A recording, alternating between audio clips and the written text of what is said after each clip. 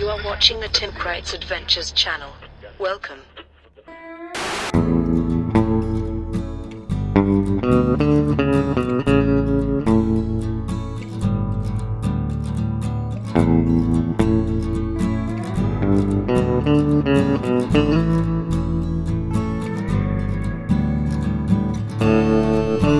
Robert Pirsig once wrote, The test of the machine is the satisfaction it gives you. There isn't any other test. If the machine produces tranquility, it's right. If it disturbs you, it's wrong, until either the machine or your mind is changed. Lots of people considered Pirsig a Zen master in his day, but he really wasn't. He was just a regular working man who wanted to better understand reality and his place in it. He was plagued by mental problems and he wallowed in misguided subjectivisms a lot of the time. That's far from Zen. Still, he had his moments of truth. I guess we all do. That quote to me has always been one of them. At 50 years old, I'm slowly becoming my own version of the insufferable philosopher. I obsess myself with attempting to assign meaning to the absurd. I try to reason with the unreasonable. I make self important films and music. It's all vanity. I used to think I filmed my motorcycle rides because I wanted a documentation of my riding life. That's partially true, but in the process, I've figured out that I'm also trying to capture the tranquility. Again, vanity. But every time I get on the bike, the machine produces tranquility, so I keep trying. I've been riding in these mountains for decades, but exactly 10 years ago, my old buddy Britt and I started coming down here in October. The reason we make the ride then is because it's usually cooler in the mountains by October, which makes for a pleasant trip most of the time. Not this year, though. Indian summer 2020 won't come to an end. We suffered through hot, dry air and high winds just to get to one particular spot so we could replicate a photo we took on the exact same weekend 10 years earlier. It was a rough 400 mile trip with a late start, but vanity and trying to recapture the past never felt so good.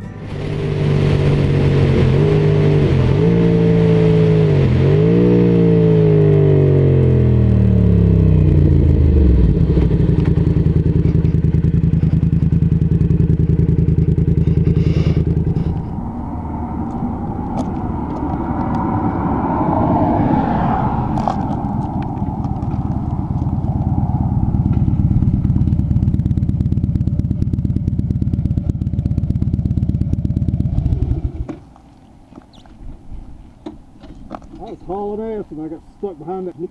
Yeah, I pa- I got into the perfect place to pass the Jeep when it was not a double yellow and went around him. I got right up behind him when all that this started. And Uh-huh. There way I'd get around.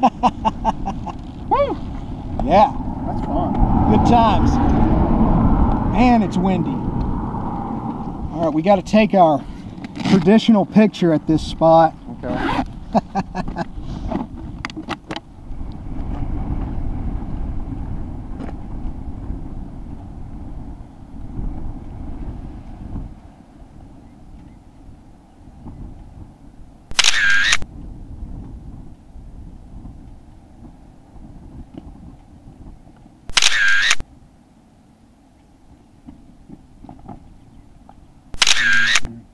Yeah, it is really pretty, even though it's really dry. You know, when Cliff and I came down here four years ago, it had been so rainy and everything was just brilliant green. Really? Oh, yeah, it was fantastic. It was probably the prettiest I've ever seen it in, you know, 50 years of living in West Texas. How fast were you going? I was going between 80 and 100. I was doing 100 at one point. I couldn't catch it.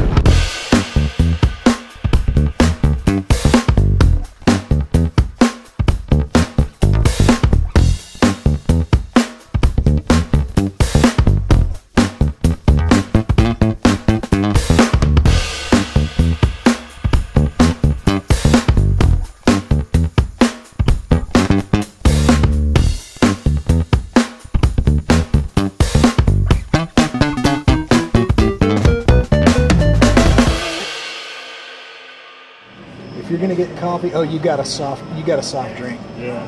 I was gonna say if you get coffee, you need to get this right here because it is awesome. Le Mudslide. Yeah. cookie? You got some? Somebody left one laying. It's still in the plastic. Looks pretty good. Nice. I'm sure it's perfectly safe. It's probably a special cookie. That's actually a really good looking cookie. I'm tempted to eat that cookie, but I'm not gonna. Could be a trap. Could be. Could be an Admiral Ackbar cookie. oh, you getting called by your clients? Tell them you're riding your motorcycles in the Davis Mountains and they can right off until Monday. Here, I'll tell them, give me the phone.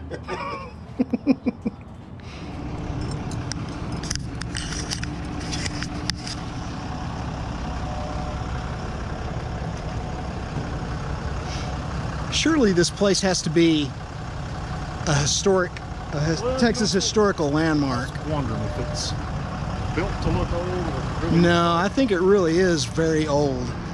I bet there's a plaque on it somewhere.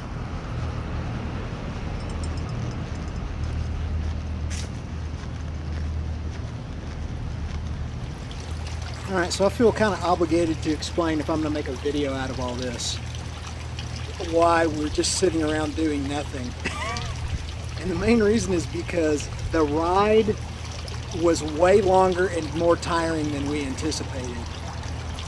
We took the long way, which I thought was going to add like 20 minutes onto the trip, not an hour and a half, because of construction on Interstate 20.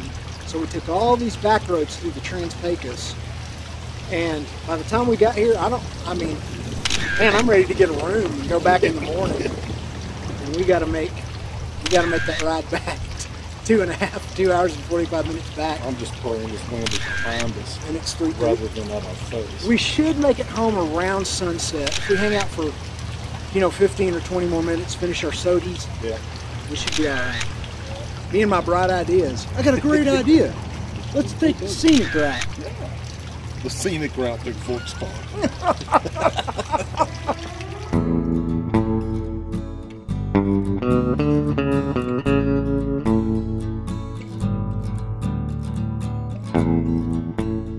I left the mountains with some good memories and the picture I came to take. I got to experience some moments of tranquility and attempted, in vain, to capture its essence once again.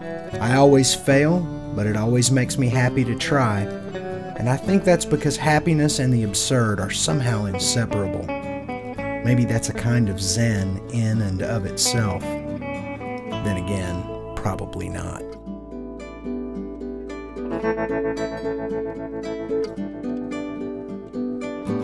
Ooh. All right, just for fun, let's see how many miles we did today. It was a lot. And we got the crap beaten out of us by the wind going both damn directions. All right. It is not 106 degree air temperature. I don't know why it's saying that, but the engine's kind of hot. Maybe that's why. Yeah, the engine's 194 degrees, so that's not always accurate. I averaged 46.2 miles per gallon, apparently or something like that, and we went 398.1 miles today. 400 mile day. Yeah. Sun's going down, and I'm ready to be off of this bike. Very happy, I should say, to be off of this bike.